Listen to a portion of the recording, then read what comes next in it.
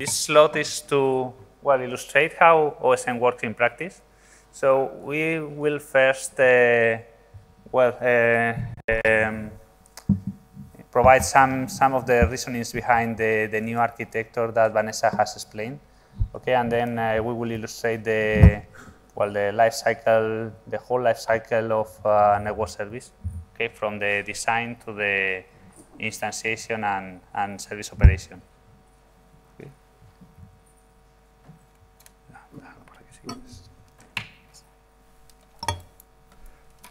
Okay. Well, so this was the, the release 3 architecture uh, that was functional, but it had some uh, inconveniences, okay, that we are illustrating here. So first one is that the, um, the normal interface of the system was tightly coupled to the service orchestration, the SO component here in the figure. That means that almost or any interaction that uh, happened in the system need, needed to go through that service orchestrator, that making, uh, let's say, the development of uh, new features very complex because any new feature had to, let's say, go through that service orchestrator to be implemented. So in addition, we discovered that the, the modularity of the architecture was uh, not appropriate for incorporating new modules because of this uh, rigid uh, architecture. Okay, so we took, I think, three main architectural decisions. One of them is just to keep the communication to the lower levels, the VIM controllers and the VNFs, in the same way that it was happening before. So the RO, the resource orchestrator, that was the component uh, in charge of deploying virtual machines and networking to the VIMs, it was still going, going to do the same. And the VCA that was in charge of uh, uh, hosting the logic for configuring the VNFs, that's what the charm is, okay, I will explain later. Uh, we will uh, keep it so that it will still configure the VNFs in the same way. The second uh, decision, I think it's critical here, is that as I have mentioned, since the SO was the component where every interaction in the system was happening, we decided to split it, okay? So that instead of making all the calls go through the SO, we split it into two different modules, the NBI and the LCM. The NBI is the one offering the northbound interface of the system, okay? And it's mainly oriented to offer a REST API, okay, for, for consumption, while the LCM is going to deal with any action related to the life cycle of a network service. It could happen, for instance, that some of the operations could go from the NBI directly to other modules or through the NBI to the LCM, depending on the operation. That makes, let's say, the, the architecture more, more appropriate to, to scale and to be able to operate in different conditions and for different API calls. And finally, we decided to include uh, three here, three main uh, blocks here, the Kafka bus, a common database uh, based on NoSQL, like Mongo, okay, in this case, and an object storage system. And the idea was that the NBI could uh, talk directly to these different components in order to, let's say, do the, depending on the API call, but not only the NBI, but any other module could also interface with those uh, Kafka bus, common database, and object storage, so that in that way we are facilitating the communication from the NBI to any other module through uh, three mechanisms. And as a result, this is the architecture that Vanessa has presented. I, I won't go into many details, okay? This is the summary, okay, that Vanessa has commented. One, one thing that is important is that we are uh, not only keeping the plugin model that we had at that moment, that, but we are also extending that plugin model. So here is a picture of the plugin model that we have. You see here different components, the RO, the RO is the resource orchestrator, as I have told you, and it's the responsible deploying VMs, VMs sorry, and, and deploying networks.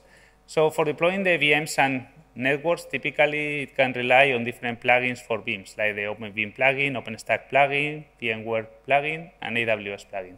But it also has some plugins for SDN controllers for creating the underlay connectivity between VMs. Okay, uh, this is we have we are supporting right now ODL plugin, an ONOS plugin, and a Floodlight plugin, and we are right now working uh, on the plugins for the WIM, particularly in a TAPI plugin and an ODL-based uh, plugin that is, well, very simple, but it uh, serves for the purpose of, of testing the, the WIM management from, from the RO.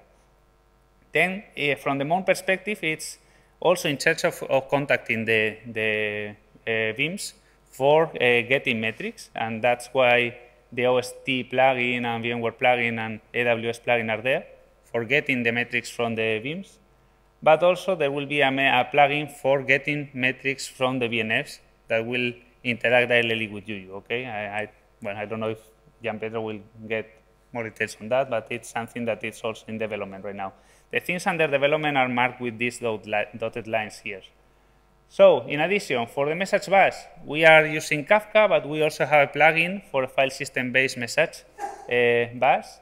For the common database, exactly the same. We have a file system plugin and a MongoDB plugin. So here the idea is that we could replace at any moment in time the backend uh, by the one that we choose, okay, want if we want to change, okay? And for object storage, right now we are using a file system-based plugin, but we could move to Ceph or Swift or any other storage that we might think of. Okay. Finally, uh, for the normal interface role-based access control, we are right now implementing a plugin that is uh, based on Keystone OK for us as a backend for authentication and, and authorization. One of the uh, good points of this new architecture is that all the components uh, of, of, OSM right now are deployed uh, with Docker. Uh, that means that we, are, we have a stack that is called the OSM stack that contains all the, these containers that are shown here, the NBI, Kafka, Mon, etc. Okay, so we are moving to a microservice architecture that is possible also to define uh, better, let's say, scale policies too. Okay, so uh, that's also convenient. In addition, we still have the LXD. LXD is here used for running Lexi containers, okay, and the main purpose of this is to run the Juju controller and all the charm logic, okay. But the, the good point of this architecture is that this architecture has a network that is the network, uh, NetOSM Docker network, and to that network we can connect any other stacks, any other Docker stacks that you might we might think of. So in this release 4, we are, for instance, uh, showcasing how to add an ELK stack, okay, for, for management, and also an, a combination of Prometheus and Grafana. Prometheus is a time series database, okay, and Grafana is a um, tool to, to show, let's say, uh, metrics, okay, or any other kind of monitoring parameters, okay, and we are combining them also in a per performance monitoring stack, okay. But the good point is that you could add and you could create your own stack, okay, and connect to OSM very easily, okay, and make take advantage of anything that is published to the Kafka bus, etc. Okay. So now I will go into, let's say, the the um, practice view of OSM.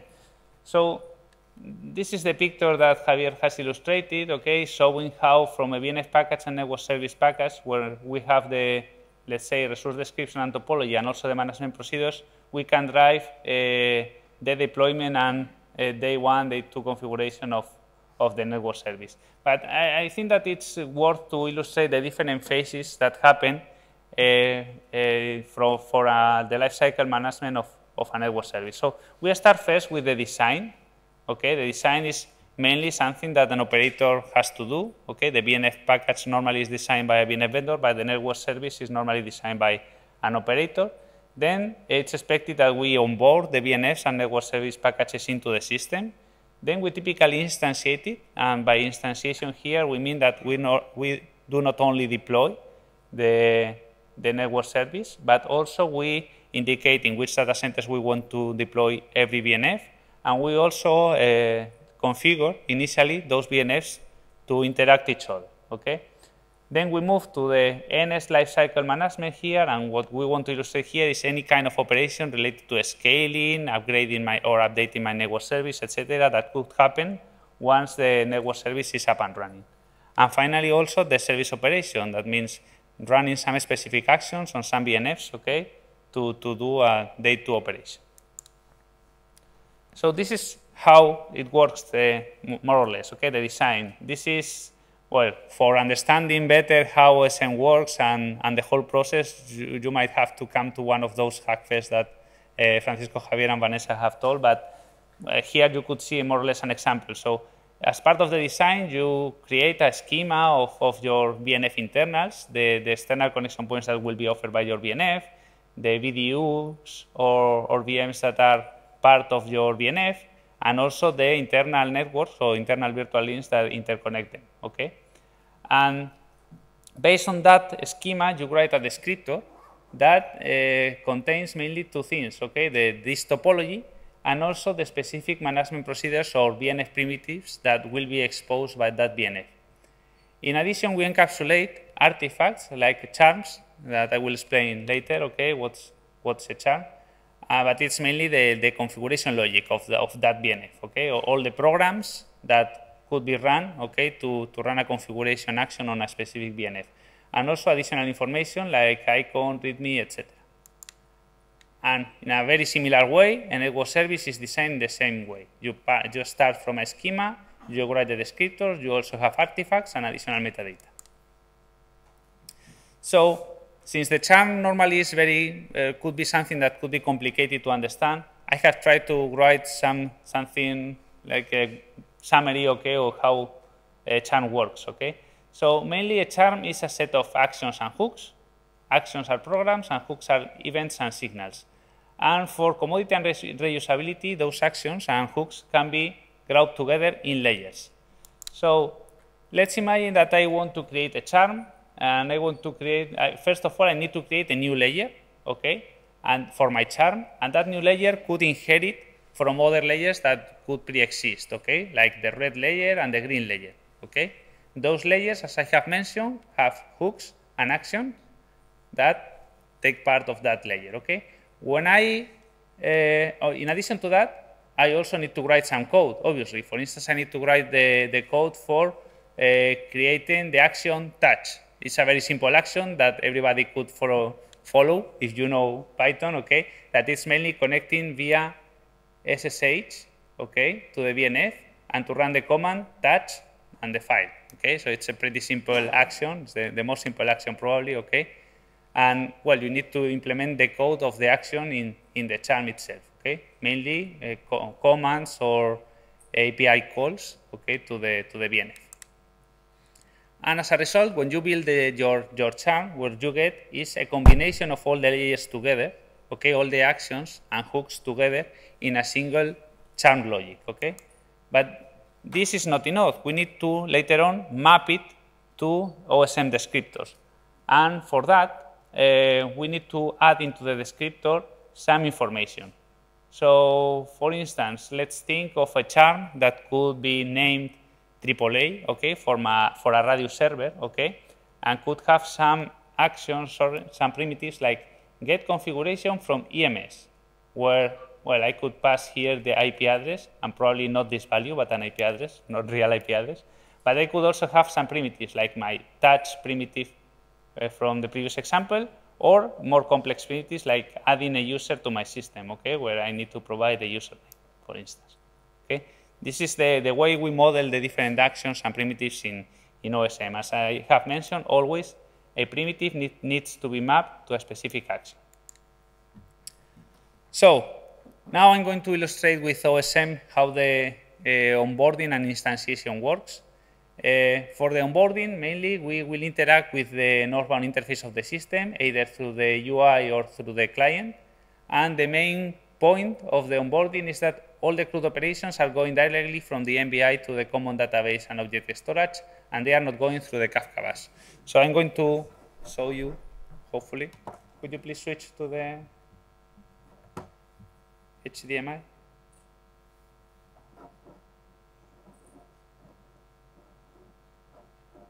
Let's see if it works.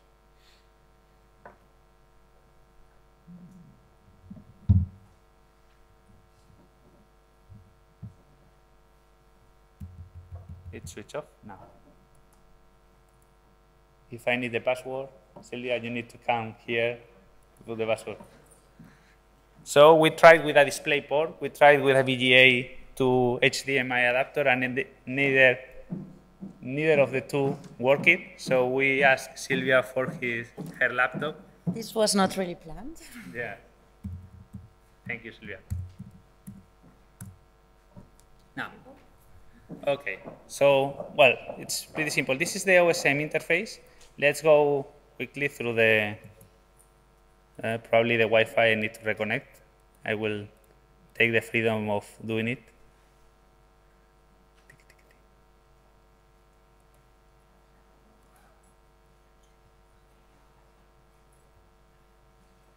Now, okay, so here's the, the home, okay? This is the new UI from release 4, okay? So you have a dashboard where you could see all the different packages for the network services, for the VNFs, okay? You have also the detail of the instances that are running network service instances uh, and VNF instances that are part of that network service.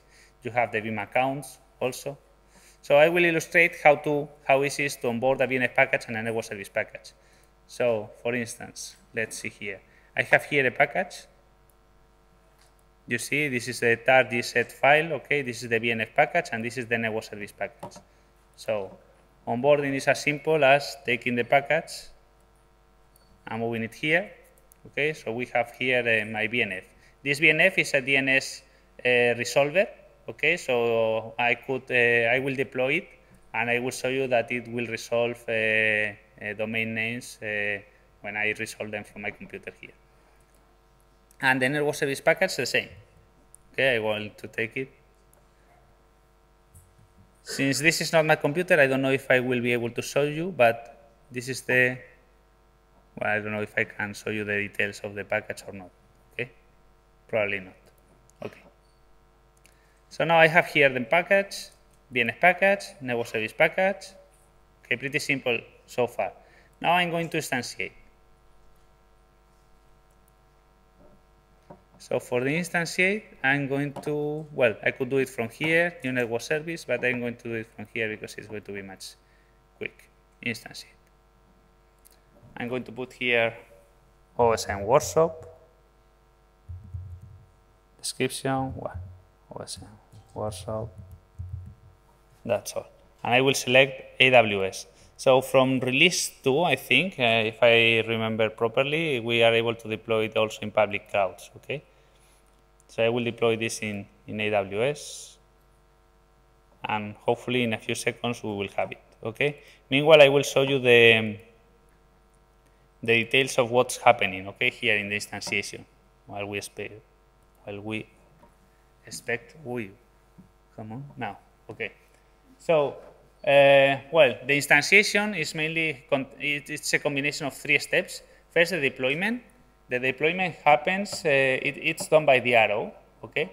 So what happens here is that, first of all, when we receive, the NBI receives the, the order of, of instantiating a network service, it will create a record here in the NoSQL database, okay? And will publish a message through the Kafka bus to anyone interested in knowing that a new network service instance is going to be instantiated. This is critical because, for instance, the LCM will take it for uh, deploying actually the network service, but other modules like the monitoring module or the policy module could also uh, be aware of that new network service instance and do whatever actions that might be required, okay? Then the LCM will consume that message and will deploy the network service by making use of the RO, okay, mainly. The RO will deploy the topology of the network service, the different VMs and networks that interconnect them, and will also be in charge of the day zero configuration. By day zero configuration here we are meaning basically cloud init. And cloud init here can be used for a lot of purposes, but in the context of OSM we are restricting the purpose of cloud init to the static information, static configuration that is uh, independent on the specific location where we are deploying the VNF and independently of the different neighbors. I mean, it's not parameterized, okay? That's the, the importance here of, of day zero configuration. And day one configuration is any information that is parameterized, and this is happening via charms, okay, through the VCA. That is mainly the Juju controller that allows you to, to deploy. So let's go to the, um, well, hopefully it's here, here. Now, it's configured and running, okay? So it's okay. Let me check here the instances. You could see here the instance. I will get the IP address. Oh, I'm not showing. Okay, sorry. Thank you, Pedro. Now, Perfect. Sorry, you were not seeing that, so I will show it again. Here the instances, it says running and configure, and if I go to the VNF instances, it says that we have here this, IP address. So I will just illustrate that the network service works. I will run here a simple command that is resolve this domain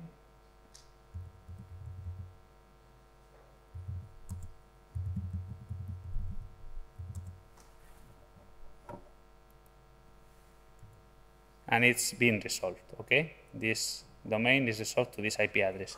If I delete right now the network service, and I will do it, and I try again,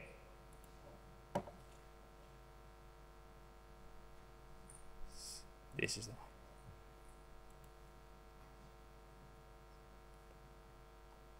Five, four, three, two, one. I will refresh. Now. Now, the new, I think that you don't have the latest, latest version. The latest version has the automatic refresh, but it doesn't matter, okay? And if I try now, it's not resolving, so it's real, okay? I'm, okay, I'm just illustrating that it's real.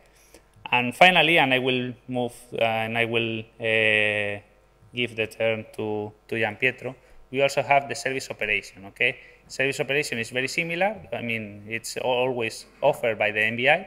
The NBI will receive the, the action or the operation to be done, and the NBI will publish a message in the Kafka bus. And depending the message, on, on the message, the operation will be handled by a specific module or a different one. Okay.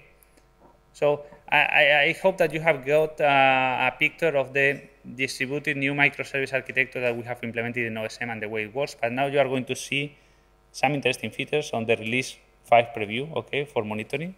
Gianpietro is going to show. Thank you, Gerardo. Okay, so let's continue seeing OSM in action. And this time uh, we'll see a couple of features from uh, the monitoring perspective.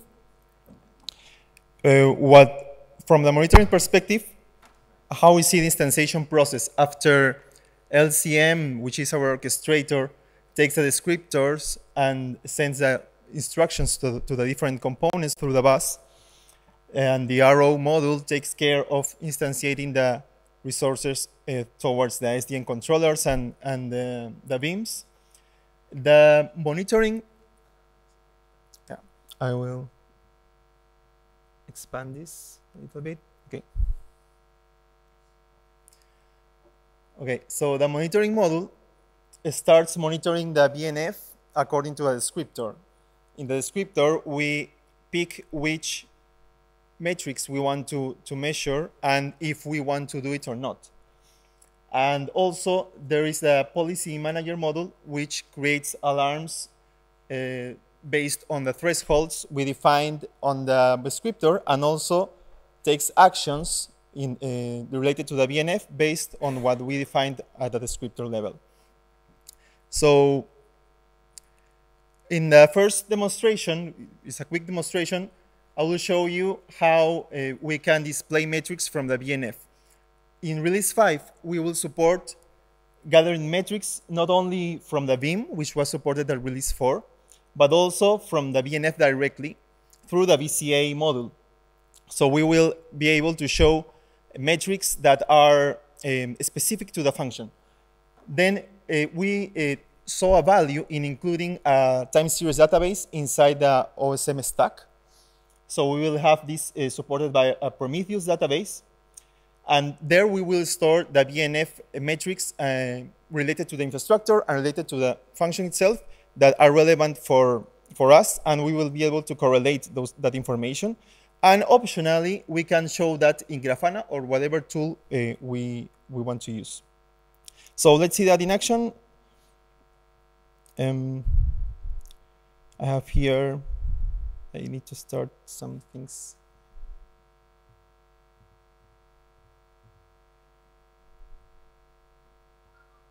And let me see if this is working.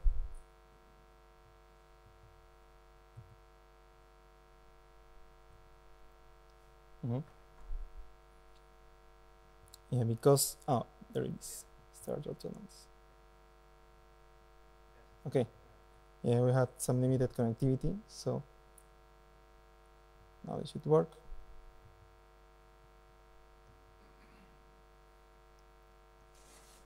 So we have a, a VNF already instantiated, which is called DNS05.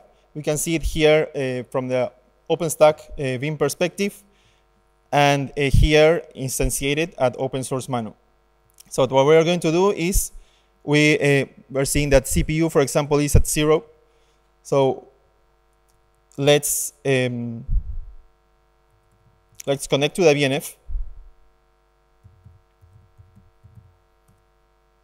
And uh, let's elevate the CPU a little bit. I have a script there in the VNF. So we'll see in short that this uh, CPU starts to go up. And the, um, the, the way it works is Mon uh, continuously monitors the telemetry system of the respective VIM, so OpenStack or VMware, for example, and also the VNF metrics uh, from, from the VNF itself. And it stores this in a Prometheus database. And optionally, we can see it here. You see that we already are at 30%. And uh, what, we, what we got as well is the scaling action, which is new at release 5. So what will happen is that uh, as soon as we, we reach a threshold, which is predefined at a descriptor at 80%, uh, this should uh, generate a, a, notification to the policy manager, which at the same time will decide what to do. Based on the descriptor, we decide to scale one VDU, one extra VDU of our, in our VNF. So that's what is going to happen as soon as we reach 80% uh, of, of CPU. So let's wait a little bit. Um,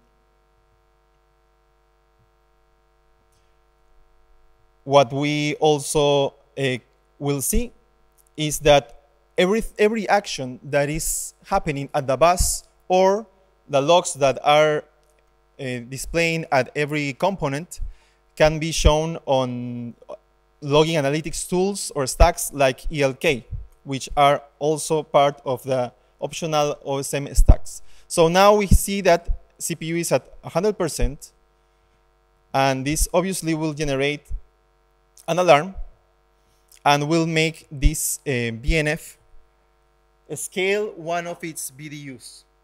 So in, a, in short, if everything goes right, we will see that, uh, that a new VDU will appear there in the network topology. Now let's keep it, let's keep this in parallel.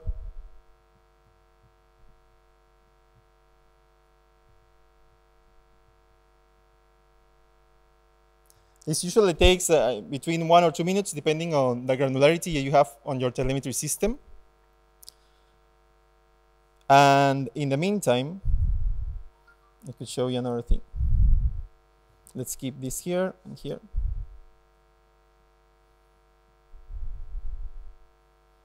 And we'll bring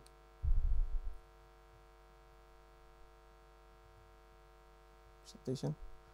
Okay, so while it does its work,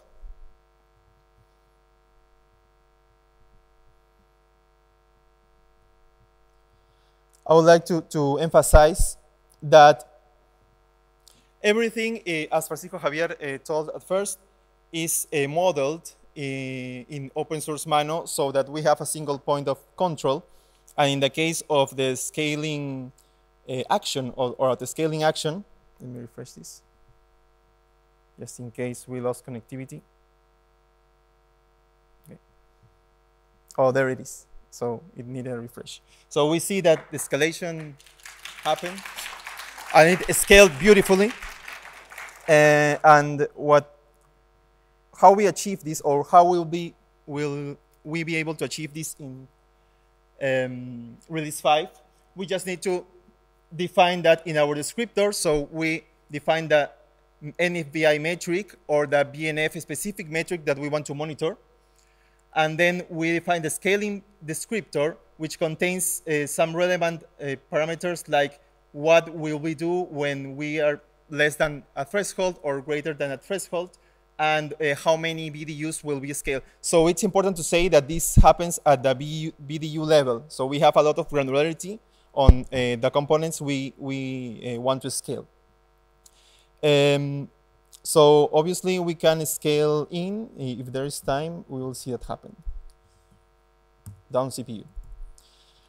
Uh, so while we wait for that, what we can conclude regarding monitoring, what is coming for release 5 is that we will be able to monitor uh, both VIM infrastructure and VNF uh, specific metrics.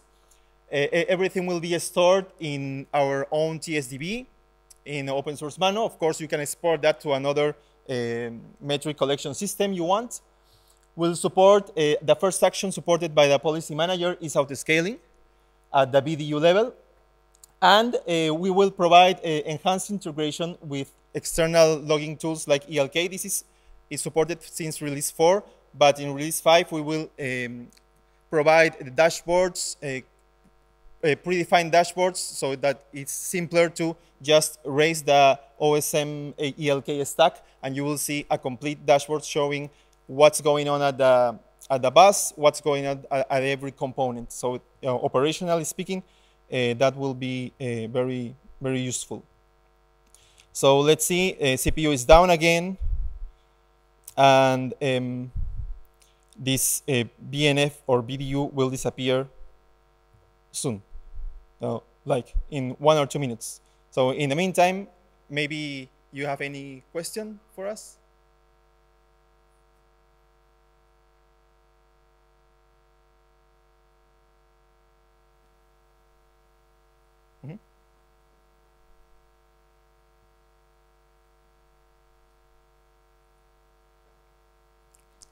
What's the model for the VNF descriptor?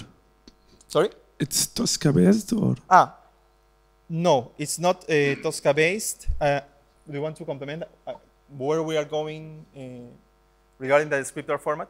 Well, the, the, you know that the, the, difference between the language where the descriptor is written and the model that could be based. Okay, so information model, data models, etc. So here is written in YAML, but the model is written in YANG okay, YANG. And it's, uh, we, we started from YANG from two years and a half ago, from the very beginning, okay? And now we are aligning that work with the Sol 6 spec in NFV that is writing also the model for VNF and network service descriptors in YANG, okay? In contrast to Sol 1 that is based on Tosca. Can, do you have any tool that to convert from Tosca to YANG model? Uh, no, we don't need it. Okay, I, I don't understand the purpose, but maybe it's interesting in some cases. I, I, I know that there are mm, there is software that is uh, there are companies that are trying to build tools to convert from one model to another or convert descriptors from one model to another. But thank you. Sorry. No, no, no, no. I know, I know. So uh, one thing I forgot to say uh, is that uh, this is how ELK looks like. Basically, you'll see uh, logs flowing, and uh, they can be grabbed uh, like this, or we can build specific dashboards with every parameter we want. So, for example, the number of escalations or a number of VNF that were instantiated or that were down, everything will be prepackaged in a in a dashboard uh, that will uh, be uh, ready as soon as you instantiate this stack. Any other question? Any other question? Okay, one question there. This is this is possible right now. All, all this, okay, and all this that uh, Gianpietro has shown has been mostly done in one release and mm, a little bit more, right? So it's possible thanks to the new architecture. So we were stuck at the moment where we could, uh, it was really difficult to add new functionality, and we were adding in few months a lot of stuff, yeah, thanks to the new architecture. Okay. Yeah. Okay, thanks. Uh, can you elaborate a bit more on the intended uh, PNF support? Will it be generic functionalities that are useful for PNFs, or are you targeting some specific PNFs? Or can you give some example here? It's a generic a generic model for the PNFs. It's not for a specific PNF. Okay, and We, the, the way we plan to, to support it is by um, managing the concept of a PDU, physical deployment unit. So normally a P PNF would consist of a single PDU, but the advantage of modeling a PDU is that we could have hybrid network functions consisting of virtual deployment units and physical deployment units, and we could also have pools of PDUs that could be used, for instance, to um, let's say create or deploy PNFs or hybrid network functions using, for instance, a PDU from a specific pool. Okay, so the, the concept of PDU allows us to much much more flexibility in that respect. Okay, thanks.